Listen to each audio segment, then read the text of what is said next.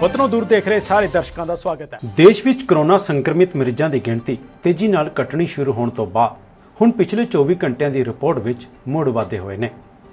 ਸਿਹਤ ਮੰਤਰਾਲੇ ਦੇ ਅਨੁਸਾਰ ਪਿਛਲੇ 24 ਘੰਟਿਆਂ ਵਿੱਚ ਦੇਸ਼ ਵਿੱਚ ਕਰੋਨਾ ਦੀ ਲਾਗ ਦੇ 43733 ਨਵੇਂ ਮਾਮਲੇ ਸਾਹਮਣੇ ਆਏ ਨੇ।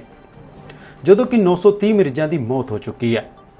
ਜਦਕਿ ਪਿਛਲੇ ਦਿਨ ਕੇਂਦਰੀ ਸਿਹਤ ਅਤੇ ਪਰਿਵਾਰ ਭਲਾਈ ਮੰਤਰਾਲੇ ਵੱਲੋਂ ਮੰਗਲਵਾਰ ਨੂੰ ਦਿੱਤੀ ਜਾਣਕਾਰੀ ਅਨੁਸਾਰ ਦੇਸ਼ ਵਿੱਚ 34000 ਤੋਂ ਵੱਧ ਮਾਮਲੇ ਸਾਹਮਣੇ ਆਏ ਅਤੇ 500 ਤੋਂ ਵੱਧ ਲੋਕਾਂ ਦੀ ਮੌਤ ਹੋਈ ਸੀ।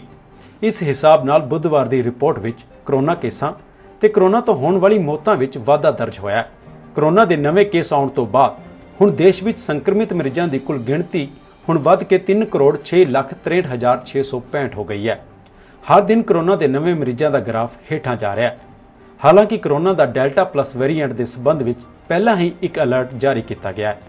ਸਿਹਤ ਮੰਤਰਾਲੇ ਦੇ ਅਨੁਸਾਰ ਦੇਸ਼ ਵਿੱਚ ਹੁਣ ਤੱਕ ਕਰੋਨਾ ਦੇ 4,59,920 ਸਰਗਰਮ ਮਾਮਲੇ ਹਨ ਜਦੋਂ ਕਿ 2 ਕਰੋੜ 97 ਲੱਖ 99 ਹਜ਼ਾਰ 534 ਵਿਅਕਤੀ ਬਰਾਮਦ ਹੋਏ ਹਨ ਅਤੇ ਆਪਣੇ ਘਰਾਂ ਨੂੰ ਚਲੇ ਗਏ ਹਨ। ਇਸ ਦੇ ਨਾਲ ਹੀ ਹੁਣ ਤੱਕ 4 ਲੱਖ 4211 ਲੋਕਾਂ ਦੀ ਮੌਤ ਕਰੋਨਾ ਕਾਰਨ ਹੋਈ ਹੈ। ਪਿਛਲੇ 24 ਘੰਟਿਆਂ ਵਿੱਚ 36 ਲੱਖ 5998 ਲੋਕਾਂ ਨੂੰ ਕਰੋਨਾ ਟੀਕਾ ਲਗਾਇਆ ਗਿਆ ਹੈ।